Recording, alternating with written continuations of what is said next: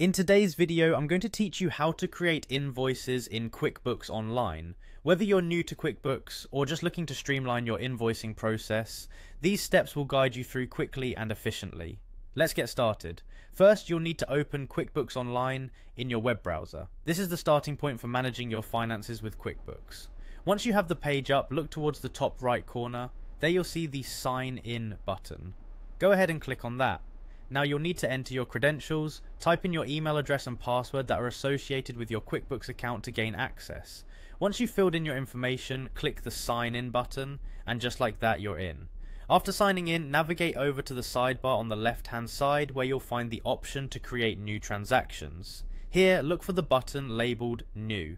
Clicking this will open up a drop down menu with several options. From the drop down select Invoice. This is where you start detailing the invoice for your client.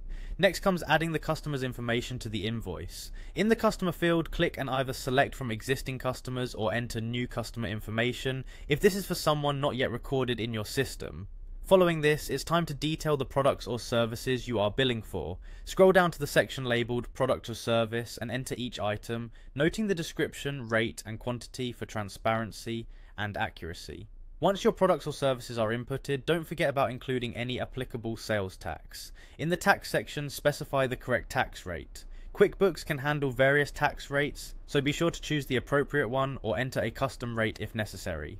The final step in your invoice creation is clicking on the Save and Send button. This action not only saves your invoice in the system, but also emails the document to your customer, providing them with the necessary information to process their payment efficiently.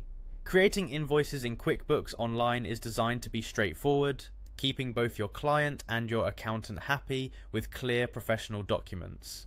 That wraps up this guide on how to create invoices in QuickBooks Online. With these steps, you are well equipped to handle your invoicing needs swiftly and smoothly.